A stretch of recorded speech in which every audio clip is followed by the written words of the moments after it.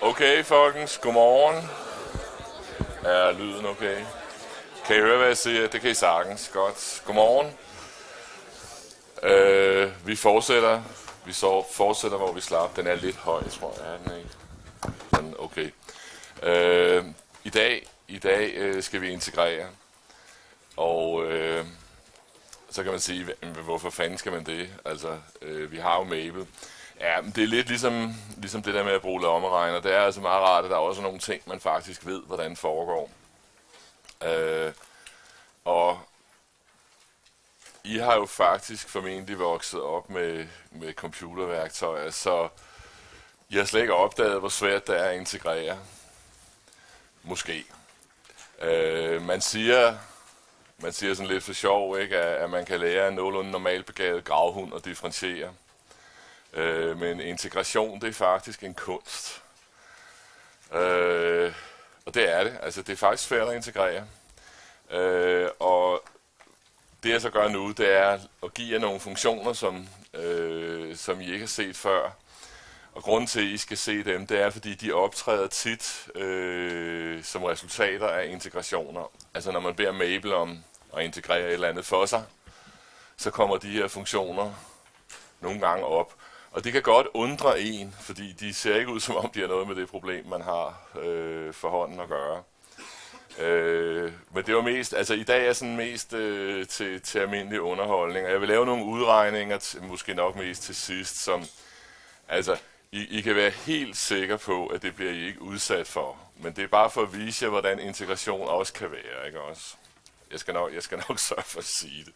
Så kan I bare læne jer tilbage og, og, og nyde det, eller græmmes, eller hvad fanden jeg har lyst til. Men allerførst så kommer de nye funktioner, så lad os tage det fra en ende af her. Så, og jeg tror, du skal have dem op på, på skærmen deroppe, sådan. Så hele overskriften hedder simpelthen integrationsteknik.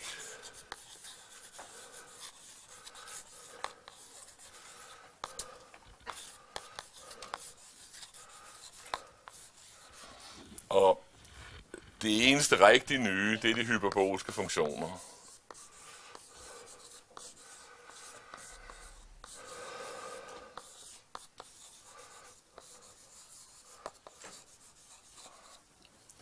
Og, og så vil jeg så minde jer om de to, to øh, hvad hedder det, integrationsregler, vi faktisk har.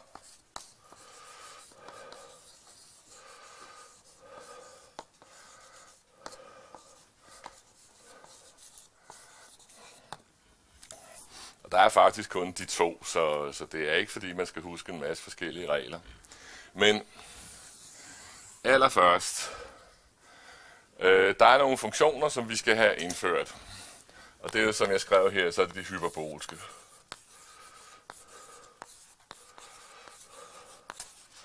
Hyperbolske funktioner.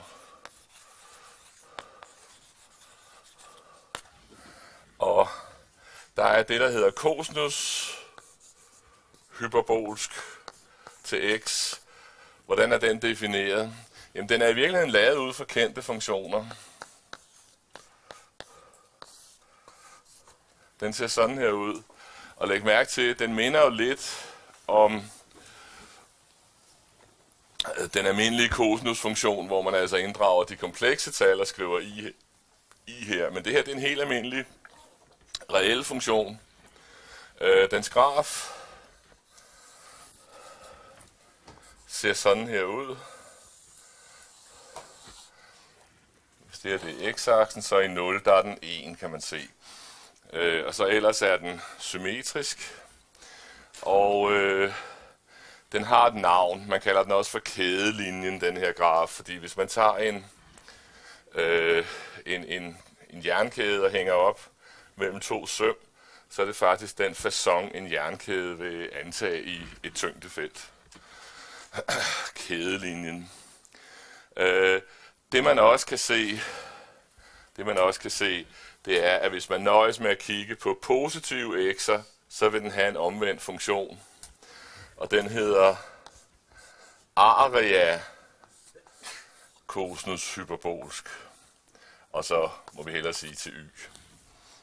Det er altså den, der løber den anden vej, hvis det her det er vores, vores y-akse. Men den er altså kun defineret for positive x'er, ikke?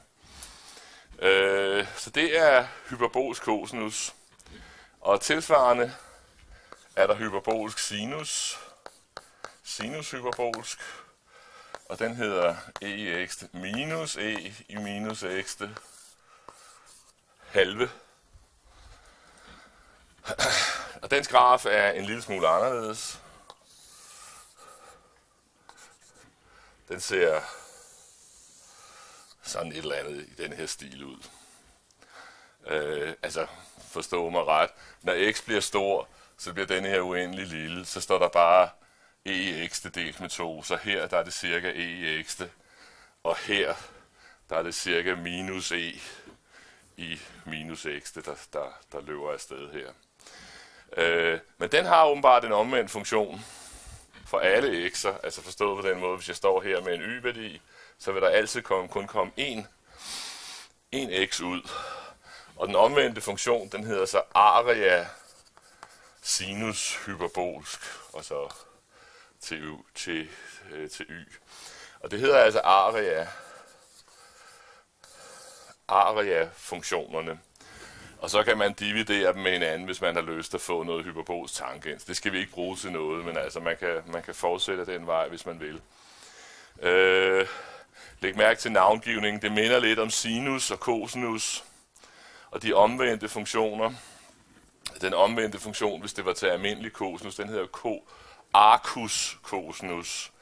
Så der ville stå ARC foran funktionen. Her står der bare AR.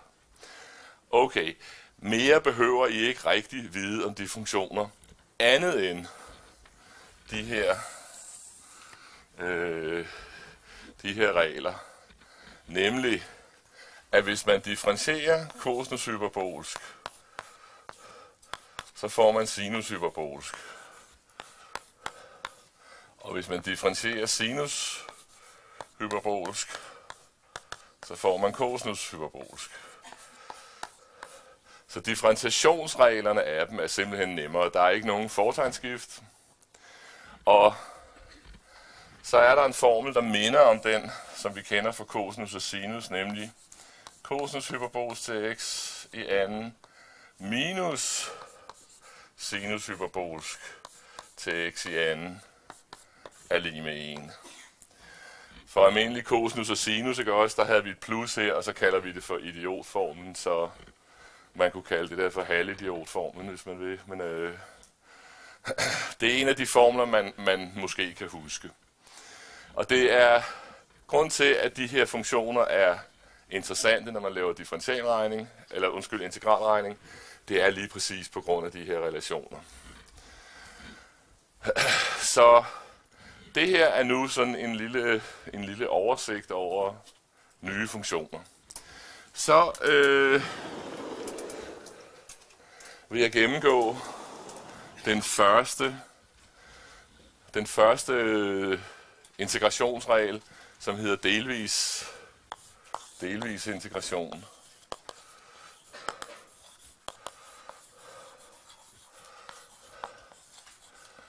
delvis eller partiel. Og øh, den ser lidt mærkelig ud, den formel. Fordi den siger, at hvis man nu har et, et integral af denne her type. Okay, øh, sådan helt generelt, øh, så vil jeg, når jeg laver de her ting, så vil jeg kun arbejde øh, med ubestemte integraler, altså stamfunktioner. Fordi hvis der er grænser på, jamen altså, okay, så skal vi bare finde stamfunktionerne og sætte grænserne ind. Så de bestemte integraler kan vi hurtigt klare, når vi har stamfunktionerne. Så lige nu bekymrer vi os om stamfunktionerne. Så det jeg er ude efter her, det er at finde en stamfunktion til to funktioner ganget med hinanden. Hvordan kan jeg det? Jamen det kan jeg for eksempel gøre på den måde, at hvis lille f har en stamfunktion, der hedder store f, så kan jeg skrive den der, og så kan jeg beholde den. Og det her er ikke rigtigt. Men hvis jeg nu korrigerer med et andet integral, hvor jeg beholder stamfunktionen, men så differentierer funktionen g af x, så bliver det faktisk rigtigt. Og det her skal man jo ikke, skal man jo ikke bare tro på. Så derfor vil vi vise, at det er rigtigt. Og øh, inden jeg omtaler, hvorfor det her det er smart, så lad os lige vise, at den her formel er rigtigt. Så vi laver lige et bevis. Fordi hvis den funktion og den funktion, altså hvis det, der står her, skal være stamfunktioner, så ved vi jo, at øh, stamfunktioner kan godt afvige med en konstant. Så grunden, den måde, jeg vil vise det her på, det er bare ved at differentiere på begge sider. Hvis jeg får det samme der, så kan forskellen højst være en konstant. Så hvis jeg differentierer på venstre side, så får jeg bare f af x gange g af x, fordi integraltegnet forsvinder. Og det skal så åbenbart være lige med den der f af x gange g af x differentieret minus, og så den der differentieret, jamen der forsvinder integraltegnet bare. Så står der f af x gange gemærke x. Og spørgsmålet er, om det er rigtigt. Ja, lad os se en gang. Her står der f af x gange g af x. Så skal jeg differentiere et produkt. Det vil sige, den første funktion differentieret. Og vi skal lige huske, altså spillereglerne her er det her. Store f er en stamfunktion til lille f. Så når jeg differentierer her, så får jeg lille f af x gange g af x. Den der differentieret, og den der fastholdt. Okay. Plus, så fastholder jeg den, og så differentierer jeg den. Det, der står her, var den der, og så skal jeg trække den fra.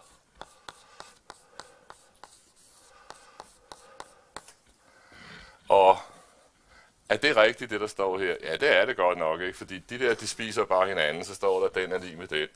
Så det er simpelthen ok, og så skriver vi bingo, ligesom i det gamle Grækenland. Sådan der. Fint. Okay, så den formel er rigtig. Men hvorfor fanden i helvede skulle man dog bruge sådan en formel? Fordi jeg har jo ikke integreret, øh, forstået på den måde. Jeg har bare et andet integral. Kan I se det? Der er jo ikke til synlande noget, noget som helst smart i det her. Men det er der måske alligevel. Fordi lad os prøve at lave et eksempel på det her. Så kan I se, hvordan det virker. Hvis vi nu har for eksempel, vi kan tage en af vores, vores nye funktioner. Vi kan for eksempel tage x gange cosinus hyperbolisk x dx. Lad os nu sige, at det er det integral, vi gerne vil regne ud. Allerførst skal man selvfølgelig lige kigge på det og sige, kender jeg en stamfunktion til x gange cosinus hyperbolisk x? Nej, det gør jeg godt nok ikke. Altså, kan I se det? Den, det ved vi ikke, hvad er. Nå, hvad kan jeg så finde på? Jamen, så skal I gå over og kigge på den her formel. Fordi trækket i denne her formel er at håbe på, at det integral der, kan blive simplere end det, jeg startede med. Okay, det indebærer, at jeg skal vælge at kalde en af de her funktioner for g af x, og en af de her funktioner for f af x. Og hvordan skal jeg vælge det? Jamen kig på det her integral.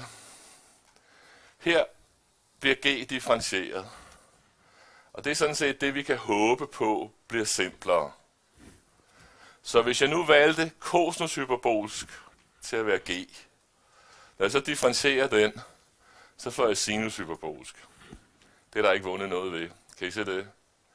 Men hvis jeg nu valgte x til at være g, jamen, okay, så vil gemærke mærke være et ettal. Kan I se det? Og det er i hvert fald simplere. Så mit get og det skal man altså være klar over, når man laver det her delvis integration. Så gætter man altså. Så mit gæt er, at jeg skal sætte g af x til at hedde x. Jamen så skal f af x jo være cosinus hyperbolisk x. Og når jeg har valgt det, så kigger jeg på, hvad skal jeg ellers bruge i formlen? Jeg skal bruge store f af x, stamfunktionen til cosinus hyperbolisk. Ja, det er sinus hyperbolisk. Og så kan jeg skrive det op. Store f af x, det er sinus hyperbolisk x, gange g af x, det er gange x. Det vil jeg så tillade mig at skrive foran. Og så vil jeg skrive minus, og så integralet af, hvad skal der så stå? Så skal der stå store f af x, det er sinus hyperbolisk, til x, ganget med den næste ingrediens, det er jo gemærke. Den kunne vi også godt skrive her. Gemærke af x, det er jo bare et et-tal. Og den står der i forvejen. Vi kan bare lege som om, der står 1 der. Kan I se det? Så omskrivningen ser sådan der ud. Og det, jeg har opnået, det er, at integralet der er lige til at regne ud. Fordi integralet af sinus hyperbolsk, det er bare cosinus hyperbolsk. Så det her, det giver x gange sinus hyperbolsk til x minus cosinus hyperbolsk til x. Og så selvfølgelig plus konstant, konstanter. Det gider vi ikke. Så det var et eksempel på det. Og det er jo egentlig meget smart. Kan I se det? Øh, lad os prøve at gøre det. Lad os prøve at gøre det en gang til. Jeg kommer til at bruge noget mere tavleplads, så jeg vil godt lige spare lidt på det. Så hvis vi lige laver et eksempel her. Nogle integraler, man ofte møder i statistik og sandsynlighedsregning, det er nogle integraler af den her type. x gange e x. Og hvad skulle man så vælge her? Nå, men okay, jeg kan da i hvert fald se, at den eneste af de funktioner her, der bliver pænere af at blive differentieret, det er jo x. Kan I se det? Altså, der er ikke så meget at gøre. Så g af x skal hedde x, og så skal f af x åbenbart hedde e i x, og så hedder store f af x, den hedder også e i x, fordi det er stamfunktionen, og g mærke x, det hedder igen et et-tal. Og okay, jamen så tror jeg godt, vi kan gøre det. Fordi stamfunktionen, den hedder e i x, og så gang x, så vi beholder, minus integralet af, differentierer vi x og beholder e i x.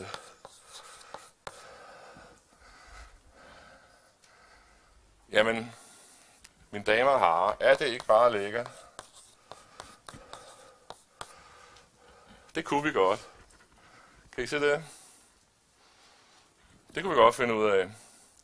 Og hvad står der i virkeligheden her? Her står der x minus 1 gange i x. Og man kan også være så heldig, man kan også være så heldig, at man skal bruge den der formel to gange. Fordi øh, hvis vi nu laver et eksempel herover.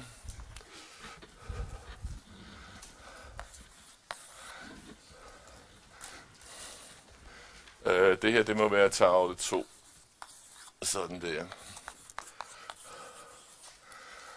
Hvis vi laver et eksempel, hvor der står x i anden gang e i x, det er x så er vi jo altså i en situation, hvor den der, det er simpelthen nødt til at være den, der hedder lille f, fordi vi kan differentiere og integrere løs på den, uden der sker noget. Så den der er den, der skal hedde g af x. Så vi prøver lige g af x, den kalder vi for x i anden, og f af x, den hedder e i x'te, og så har vi store f af x, den hedder e i x'te, og gemærke x. Den hedder så 2x. Og lad os prøve at se, hvad der så sker, når vi gør det. Vi siger store f af x gange g af x. Den skriver jeg så foran her. Minus. Og så skal jeg tage g-mærke af x, som hedder 2x. Og så gange med e i x. Og læg mærke til, at her blev jeg ikke færdig. Kan I se det? Fordi her har jeg igen et integral, som hører til den type, jeg ikke rigtig kan regne ud. Bortset fra, at nu har jeg været så forudseende, at jeg faktisk har regnet den ud herover. Kan I se det? Så derfor, fordi jeg har lavet arbejdet, så kan jeg sige x i anden gang e i x minus, og så et total, og så gang det, vi fik herover, som jeg lige vil skrive som x e i x minus e i x. Var I med på den? Og hvad giver det, hvis jeg samler det på samme måde, som jeg har samlet her? Så får jeg x i anden gang e i x, der står der minus 2x, og så står der plus 1, og så gang e i x. Og det vil sige, at jeg får et anden grads, et anden grads polynomium øh, gang e i x. Og hvis I kigger på, hvad der i virkeligheden står, så står der x minus 1 i anden gang e i x. Og øh, altså, er det her vigtigt? Nej, egentlig ikke. Andet end, at øh, det gør, at I ikke skal undre jer over de svar, som Mabel giver. Så hvis der nu stod x i endte her, ikke også? Så kan I altså nok forvente, at Mabel skriver et integradspronomen her. Kan I se det? Så det er, hvad skal man sige, overvejelser af den type, I skal kunne lave. Der er lige et spørgsmål.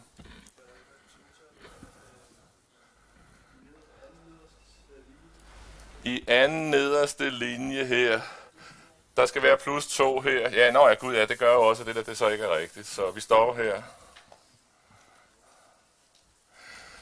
Der skal, ja, nå, man kan splitte det op, men det gider jeg ikke skrive op. Nu, vi stopper her. Et andet grads polynomium gange e i x. Du har fuldstændig ret. Tak. Det, der blev sagt, det var, at jeg havde glemt det total, som kommer ved at sige minus 2 gange minus e i x. Det giver jo plus 2, og så e i x udenfor. Så min morale, som hvis øh, jeg fik sagt, det var, når der står et integralspolynomium her, så skal man forvente, at der kommer et integralspolynomium her. Okay. Øh, så det var lidt om den formel. En anden formel, som I faktisk har set øh, i, i gymnasiet, det er formlen for, øh, hvad hedder det, ja, substitution plejer vi at kalde det.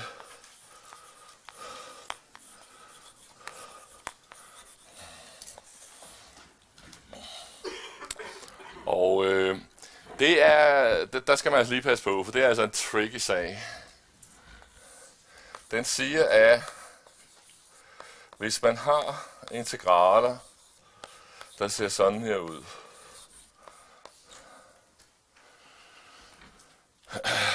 så kan man skifte variabel, man kan lave en substitution, sådan at man kalder t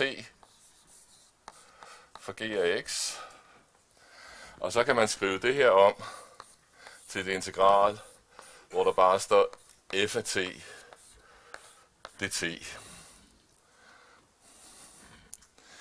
Og øh,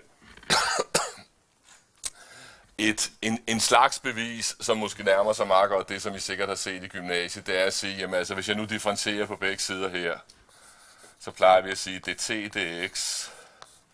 Det må så være at give mærke x. Jeg differencierer med hensyn til x. Og så er det, man siger, måske skulle jeg skrive bevis, bare sådan i anførselstegn, fordi det er sådan mere et bevis i religionsforstand, så det er noget, man bare skal tro på. Øh, fordi hvis jeg så siger, at det her det er jo en brøk, så kan jeg gange med det x. Så står der, dt er lige med gemærke x, dx. Og det, at man kan det, det kan man faktisk bevise. Så det er rigtigt nok det her. Vi har bare ikke snakket om det. Nogen har måske set det gjort ordentligt i gymnasiet. Men det korte og lange er, at hvis man ændrer sin variabel i integrale på denne her måde, så skal man ændre den der på samme måde. Og hvis man ser på det, så kan man jo se, at det er rigtigt. Kan I se det? Så det er simpelthen rigtigt, det der. Og spørgsmålet er, hvordan i alverden kunne man dog få ideen til at bruge det her? Fordi, hvordan kan man se på et integral, at det er denne her formel, man skal bruge? Og der er, der er sådan forskellige regler. Hvis det er helt åbenlyst, at der er, indgår en sammensat funktion, så er det den, I skal lede efter. Og lad os prøve at lave et, et eksempel på det. Hvis jeg for eksempel har integralet af x gange e i x i anden dx.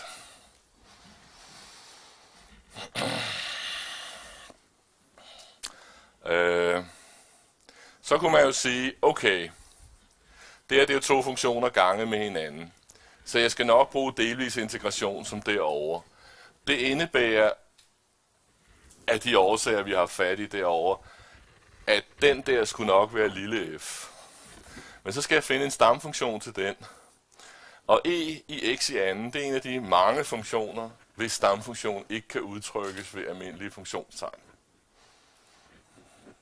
Det kan den bare ikke. Så øh, sådan er det. Det hedder error function. Altså det, det, det er navnet på stamfunktionen. Den kan ikke skrives op med almindelige funktionstegn. Så det, det, kan vi, altså, det kan vi simpelthen ikke. Men spørgsmålet er så, om vi ikke kan komme videre på denne her måde. Og det man skal gøre, hvis man vil bruge formlen denne her vej, det er at sige, okay, jeg laver en substitution, og substitutionen skal være, at jeg peger på den indre funktion. Det er den, der skal hedde t. Og hvis jeg kigger herover, så kan jeg se, at den indre funktion, det er den, der hedder x i anden. Så den substitution, jeg skal lave, der skal t hedde x i anden. Okay? Så bliver dt dx, det bliver bare til 2x, og det vil sige, at dt bliver til 2x dx. Og det passer meget godt. Det passer meget godt øh, øh, i mit, hvad skal man sige, i mit, i mit udtryk her, fordi hvad kommer der så til at stå her? Har jeg 2x stående et sted? Ja, det har jeg der, men jeg har kun halvdelen. Kan I se det? Så x dx, det er jo halvdelen af dt. Kan I se det? Jeg kan skrive det sådan her.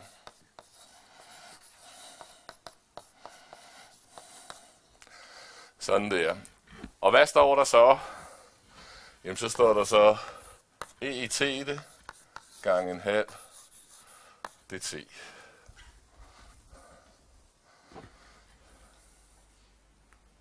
Kan I se det?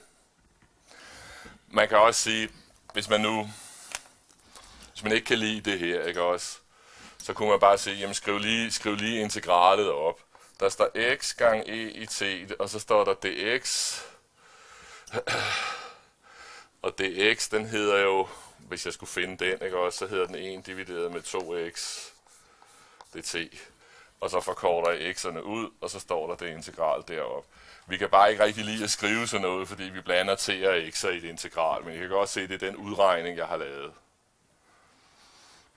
Okay? Og det her kan vi jo godt finde ud af. Fordi det giver en halv e i t, det, det er jo stamfunktionen, fordi nu integrerer vi med hensyn til t. Så er det bare, at jeg skal huske, hvad t var. Nå, det er så en halv e i x i anden. Kan I se det? Så der har vi stamfunktionen. Og øh, vi har brugt substitution. Okay, lad os prøve at lave en substitution til. Også en substitution, hvor vi prøver at gå, gå den der vej.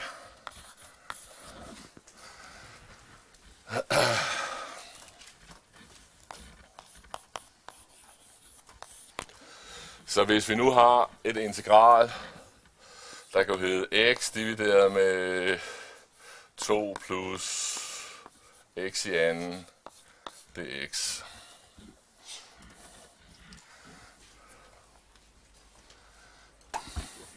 Og så ser man til sig selv, okay, er der nogen sammensat funktion her? Jeg skulle ikke helt oplagt. Kan I se det?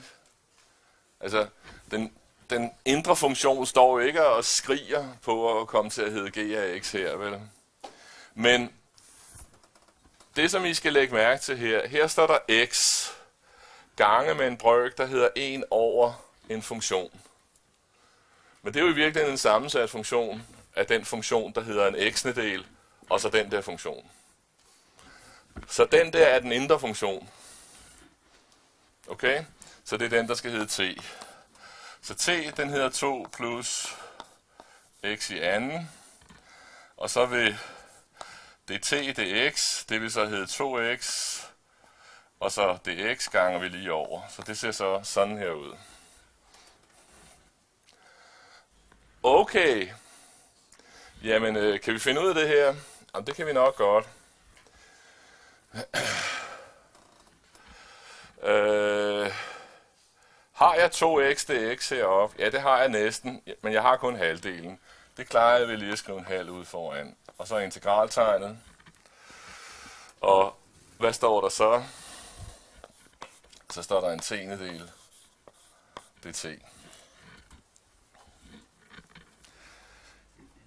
Kan I se, at det der det er rigtigt? Og, jamen altså, okay. Stamfunktion til den der, det kan vi godt finde ud af. Det er LNC. Og så er det altså lige, man skal huske, hvad var det nu lige af T var for en fisk? Det var 2 plus x i anden. Sådan. Så har vi stamfunktionen til det der. Så det er derfor, de dukker op på den måde. Okay, se, læg mærke til, at det vi har gjort nu, det er, at vi har brugt formlen fra venstre mod højre. Og det er typisk den måde, som I også vil have set den brugt i gymnasiet. Men den kan også bruges fra højre mod venstre. Øh, og lad os prøve en gang at gøre det med et lille eksempel her. Fordi vi kunne have et integral, der hed 1 divideret med 1 plus t i anden dt.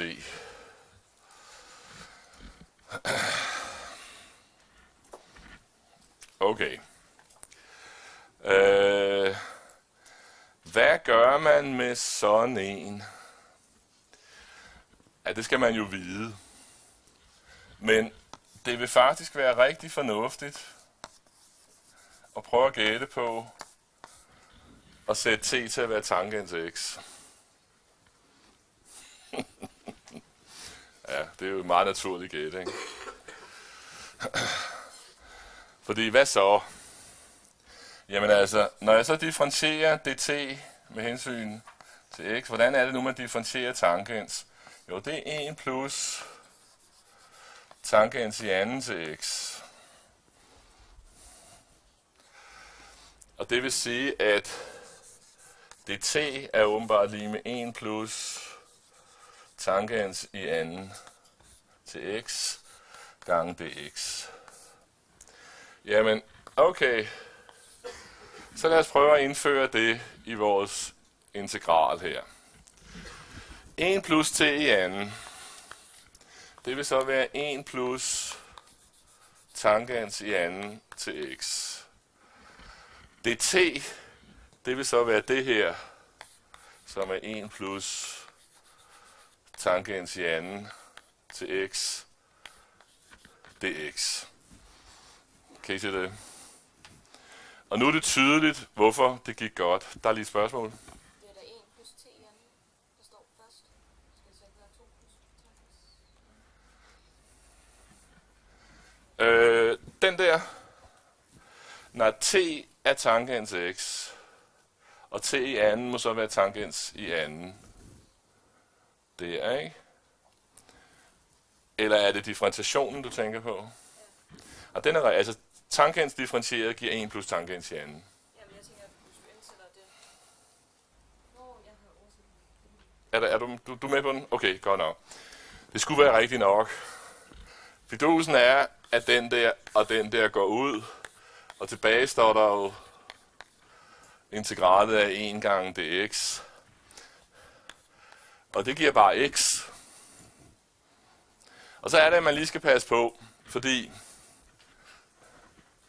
vores variable hedder t i integralet.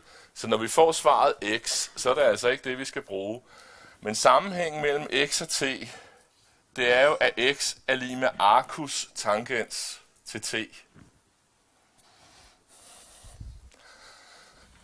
Så det her, det er arcus tangens til t. Det er sådan, man finder x af denne her ligning. Okay. Jeg kan også se, at det bliver sjovere og sjovere, ikke?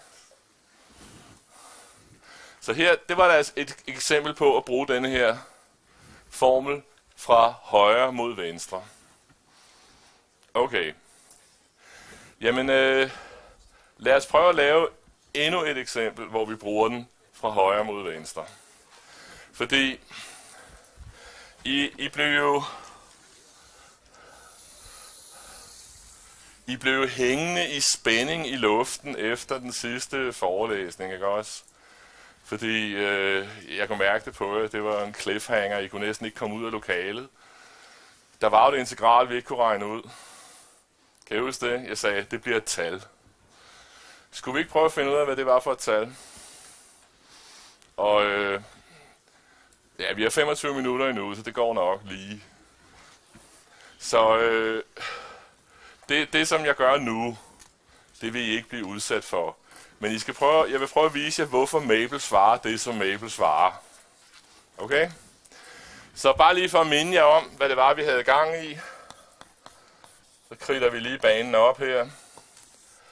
Det jeg gjorde, det var, at jeg kiggede på, på grafen for en parabel. Altså f af x lige med x i anden. Og jeg kigger bare på den, på det her stykke, fra 0 til 1. Og hvordan ser det så ud som parametriseret kurve? Jamen altså, den hedder t, t i anden, ikke? Fordi hvis det her det er t-aksen, så er det der bare t i anden. Så det der, det er den parametriserede kurve. Og vores parameterinterval her går bare fra 0 til 1. Og så kunne jeg godt tænke mig at finde ud af, hvor lang er den her egentlig? Det er jo et spørgsmål, man tit stiller sig selv. Hvor lang er en parabelgren? Jamen altså, okay. Formlen fra sidst sagde, jeg skal tage og integrere fra 0 til 1. Og kurvelængden, det er så kvadratroden af længden af hastighedsvektoren. Det er t. Og det, der kom ud af det, det var så fordi, ja, måske skulle vi lige skrive op her, at er mærke af se. ja, der skal jeg differentiere herop med hensyn til t, så den hedder 1,2t, og længden af den, det er så kvadratroden af 1 i anden plus 2t i anden. Så det er den der størrelse. Og det vil sige, at den der længde, vi leder efter, L, den er integralet fra 0 til 1 af kvadratroden af 1 plus 4 t i anden dt. Og den kan jeg jo så regne ud, hvis jeg bare finder en stamfunktion. Så lad os prøve at finde en stamfunktion. Så nu prøver jeg at regne det her integral ud uden grænser. Prøv at finde stamfunktionen. Yes? Det er jo, fordi jeg har skrevet forkert. Godt sagt. Så I er med på, det er den der i anden, der står der, og den der i anden, der står der. Så jeg har bare glemt det. Det var godt, du sagde det, fordi det kunne godt forvirre. Altså, det er jo bare længden af vektoren. Okay? Så nu vil jeg prøve at regne det her integral ud. Og det vil altså sige, finde stamfunktionen, så der er ikke grænser på. Kvadratroden er 1 plus 4 t i anden. Så kan vi godt tage, til den der ned. Og så dt. Okay. Og øh, vi har formen stående her. Og jeg skal bruge den fra højre mod venstre. Så spørgsmålet er, hvordan ser min, hvordan ser min substitution ud? Jo, det er jo fuldstændig oplagt, at jeg skal vælge t til at være en halv sinus hyperbols til x. Det er jo, det er jo simpelthen det første gæt, vi har, ikke? Og hvad skal jeg så ellers bruge? Jamen altså, okay. Øh, hvad skal jeg så ellers bruge? Jeg skal bruge øh, gemærke x. Øh, og det vil sige, at øh, jeg skal differentiere den der. Lad os lige skrive det op. Altså dt, dt, dx. Det er så en halv cosinus hyperbolsk x. Og det vil sige, at det som dt skal erstattes med, det er en halv cosinus hyperbolsk x. Og så dx. Lad os prøve at se, hvad der så kommer til at stå her. Integralet af kvadratroden af 1 plus 4 gange en halv sinus hyperbolsk i anden til x. Undskyld, der skal stå i anden udenfor her. Og så kvadratroden færdig. Og så skal der stå gemærke x til gange med en halv cosinus hyperbolsk x dx. Okay. Så regner vi lige videre her. Jeg tror lige, jeg sætter en streg ned her. Sådan der. Hvad står der så? Den halve der, den smider jeg lige uden for integraltegnet. Og så står der integralet af en halv i anden, det er en fjerdedel. 4 gange en fjerdedel, det er 1. Så står der 1 plus sinus hyperbolsk i anden. Zzzt.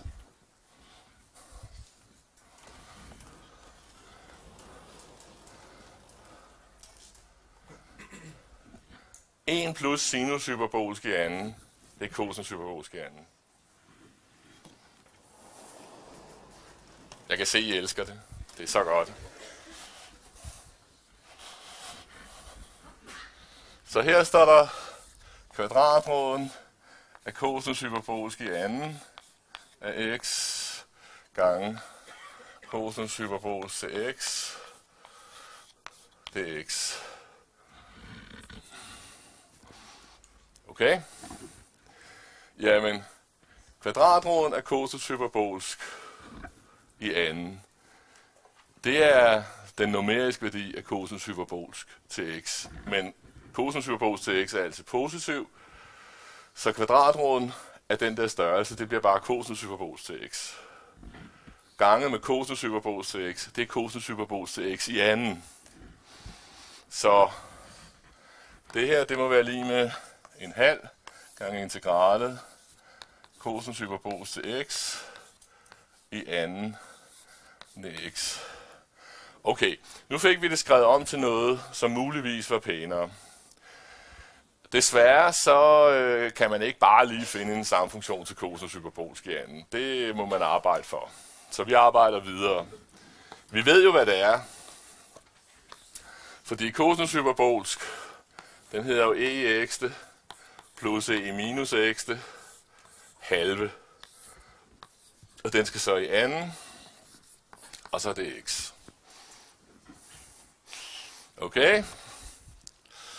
Jamen, vi går videre. 2 i anden, det er 4.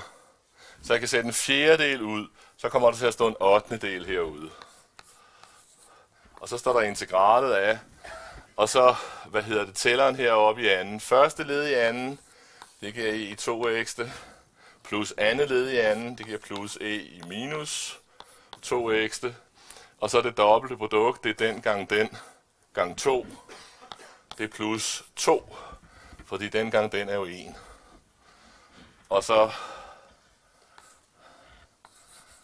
dx. Okay? Kan vi finde stamfunktionen til det der? Ja, det kan vi sådan set godt. Problemet er bare, at hvis jeg integrerer dem der lige uden videre, så kommer der et integral, hvor der kommer en stamfunktion, hvor der står 2x i. Og den kan jeg desværre ikke klare herhenne, fordi der står kun 1x her. Så derfor er jeg nødt til at lave noget smart nu. Fordi jeg er nødt til at få lavet noget, så jeg kun har x'er. Okay? Det skal man jo vide. Det vil sige, at man skal en gang have regnet forkert, før man kan se, hvad det er, man skal gøre. Men prøv at se her. øh, prøv at se her. Øh, I første omgang, det jeg vil gøre i første omgang, det er, jo, det er sådan set, jeg vil først bare integrere, og så regne videre. Fordi hvis vi smider integralet væk, så her får jeg e i 2x gange en halv. Jeg integrerer. En halv e i 2x. Det er en stammefunktion til e i 2x. Og så får jeg minus en halv gange e i minus 2x. Det er en stammefunktion til e i minus 2x. Og så får jeg plus 2x. Sådan. Og det jeg mener, det er, at her står der stamfunktioner, men med 2x. Og det kan jeg faktisk ikke bruge til noget. Så jeg er nødt til nu at lave en omskrivning, som skaffer mig, som skaffer mig det rigtige. Og hvordan gør jeg det? Jamen, øh, det jeg kunne gøre, ikke også, det var, at jeg kunne sige en 8. del, og så kunne jeg sætte en halv uden for en parentes her. Og hvad står der inde i den parentes? Der står der e i 2x minus e i minus 2x. Det er e i x i anden minus e i minus x i anden. Jamen det er et tal i anden minus et tal i andet. Det er jo to tals sum gange to tals differens. Okay? Så e i 2x minus e i minus 2x, det er det samme som e i x plus e i minus x gange e i x minus e i minus x. Fordi det giver første led i anden minus andet led i anden, og den halve står der. Okay. Og hvad står der så her? Her står der stadigvæk 2x. Og hvad skal vi så finde på? Jamen, mangler der ikke en parentes? Øh, jeg satte en halv udenfor. Ved hvad? Det kan jeg egentlig gøre ved bare at lade være med at sætte parenteser. Nu har jeg gjort det. Det var den, I sagde, der manglede, ikke også? Det er nok. Okay. Jamen, øh, det her ligner jo noget. Så lad os lige prøve at se en gang, hvad det her det er, hvad det her er lige med. Fordi her står der jo en 8. del gange med, og så står der e x plus e i minus x. Så kunne jeg sætte den halve derned. Og så kunne jeg gange med e i x minus e i minus x. Og så kunne jeg sætte en halv herned, hvis jeg også lige husker at sætte den der. Kan I se det? Jeg har ikke en halv at gøre godt med. altså, jeg kan ikke skrive en halv under der og en halv under der, så skal jeg have en fjerdedel, ikke også? Men det tager jeg lige højde for her. Og hvad står der så her? Her står der så plus 2x. Okay? Nu ligner det noget. Fordi hvad står der her? Her står der en 8. del gange med... Det her, det er jo kosinus hyperbolsk.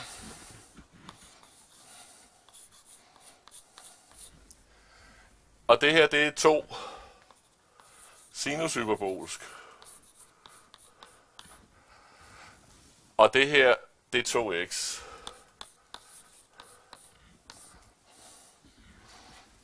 Okay? Se, hvad er det, vi kender? Vi ved, hvad t er. det er en halv sinus hyperbolsk. Men cosinus hyperbolsk, mm, kunne vi skrive den om? Ja, det kunne vi faktisk godt. Fordi det her, det må være en 8. del, så gange med cosinus hyperbolsk. Jamen, det må være kvadratroden af 1 plus sinus hyperbolsk i anden til x. Den samme formel. Ikke også? Cosinus hyperbolsk i anden er lige med 1 plus sinus hyperbolsk i anden. Og når jeg så tager kvadratroden, så er det her cosinus hyperbolsk. Okay? Ganget med 2 sinus hyperbolsk. Og så plus 2x. Okay. Jamen så er vi lige ved at have den i skabet, ikke også? Fordi hvad står der i virkeligheden her? Her står der en 8. del, og så står der kvadratroden af sinus hyperbolsk. Hvis I kigger på vores substitution. Sinus hyperbolsk, det er jo 2t. Kan I se det? Hvis jeg lige laver, bare lige minder jeg om det på vores kladepapir her. Hvis t er lige med en halv sinus hyperbol til x, så er 2t jo lige med sinus hyperbol til x. Og det vil sige, at inde i det her integral, så står der 1 plus 2t i anden. Kan I se det? Og hvis jeg ikke vidste, hvad det var, jeg ville gøre, havde gang i, så ville jeg måske tro, at nu havde jeg regnet i ring. Kan I se det? For det der, det er jo det integral, vi faktisk startede med. Men læg mærke til, jeg har integreret. Okay? Og hvad kommer så til at stå her? 2 gange 2 sinus hyperbolsk. Det er 4t. Okay? Plus, hvad er x?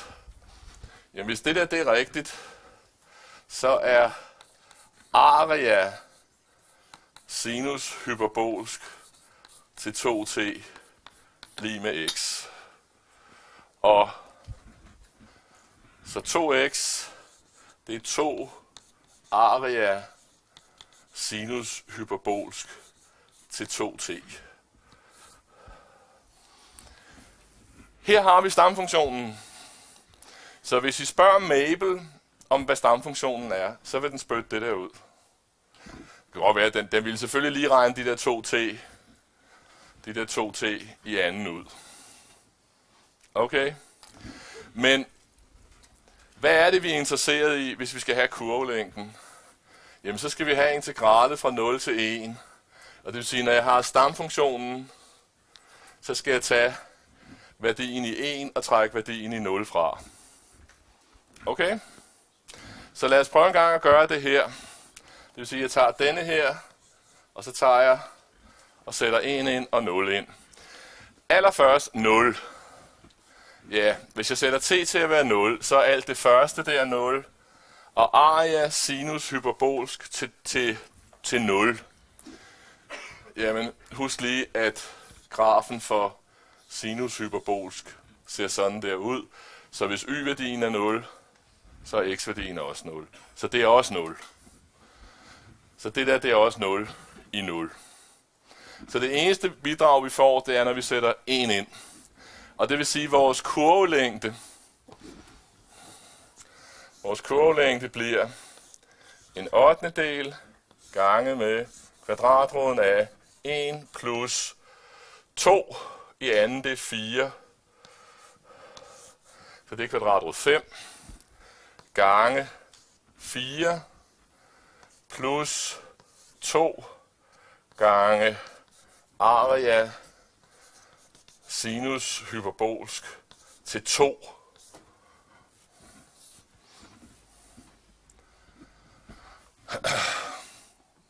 Det er det tal, der kommer ud af det. Og øh, bare for sportens skyld, det første her, det kan vi jo med det samme skrive op. Men hvad er area sinus hyperbolsk til 2? Og det kunne jeg godt tænke mig bare lige for at demonstrere, at det kan man faktisk beregne. Okay? Hvad betyder det? Jamen det betyder, at jeg stiller mig i to på den her akse, og så skal jeg finde ud af, hvad kommer der ud hernede. Og det vil sige, at jeg laver et lille stykke papir her. Jeg beregner nu area sinus hyperbolsk til 2. Og det gør jeg ved at skrive ligningen op. Den hedder e i x minus e i minus x divideret med 2. Det er area, ja, undskyld, det er sinus hyperbolsk. Den skal åbenbart være lige med 2. Og så skal jeg finde ud af, hvad x er. Det er sådan area sinus hyperbolsk virker. Jamen, hvordan løser jeg den ligning? Det gør jeg hver gang med 2 på begge sider. Så står der e i x minus e i minus x lige med 4. Så ganger jeg med e i x på begge sider. Så kommer der til at stå e i 2x. Det vil jeg bare lige skrive som e i x i anden minus 1 lige med 4 e i x. Og det vil jeg så flytte over på en side. Så står der e i x'te i anden minus 4 e i x'te minus 1 lige 0. Det her er jo en kamufleret andengradsligning. Fordi hvis vi kalder e i x'te for y, så står der y i anden minus 4y minus 1. Der har vi en løsningsformel. Og løsningsformlen siger så, at vores variable, som er altså e i x, er lige med minus b, det er 4. Og så plus minus, men minusløsningen skal vi forkaste, fordi der kommer kun én løsning ud, og e x kan ikke blive negativ. Og det vil det ellers blive. Kvadratroden er minus 4 i anden, det er 16, og så minus 4 AC, det er plus 4 gange 1, det er 4, halve, og det her giver, når jeg forkorter, øh, 4 plus kvadratrod 20 halve. Og det kan altså, jeg kan godt forkorte med, altså jeg kan sætte, sætte noget uden for parentes og forkorte med to. Men det her er løsningen. Nu har jeg den stående, og fordi tiden løber. Hvis jeg så skal finde ud af, hvad, hvad x er, det her det er jo e i x, det. så er x jo så åbenbart lige med ln til den størrelse der. Kan I se det? Så fandt vi den. Og nu kommer så det simple udtryk, som er længden af en parabel fra 0 til 1. Det er åbenbart 4 kvadratrod 5 plus 2 gange ln til øh, 4 plus kvadratrod 20 halve. Og det der kan faktisk skrives som noget med kvadratrod 5 og forkorte, så det kommer til at se lidt pænere ud. Men det er tallet. Okay? Og det tog faktisk lidt, lidt over 20 minutter. Så det er jo klart, at sådan noget her gider man jo ikke bruge sit liv på. Altså, det er noget, Mabel kan, det her. Men det som, altså, grunden til at gøre det her, det er for at vise jer, hvor kompliceret det faktisk kan være at lave de her integraler. Og også, hvorfor de der funktioner, det er jo lidt underligt, at i sådan et integral, så kommer de omvendte hyperboliske funktioner ind. Kan I se det? Men de kommer helt naturligt. Altså, så det skal I ikke undre jer over, når Mabel skriver. Øh, og så også, lad være med at blive overrasket, hvis simple integraler viser sig at være svære at regne ud. Integration er simpelthen svært. Okay, jeg håber ikke, I synes, det var alt for kedeligt. Jeg synes, det var meget sjovt. Så, tak for i dag, folkens, og held og lykke med jeres øvelser.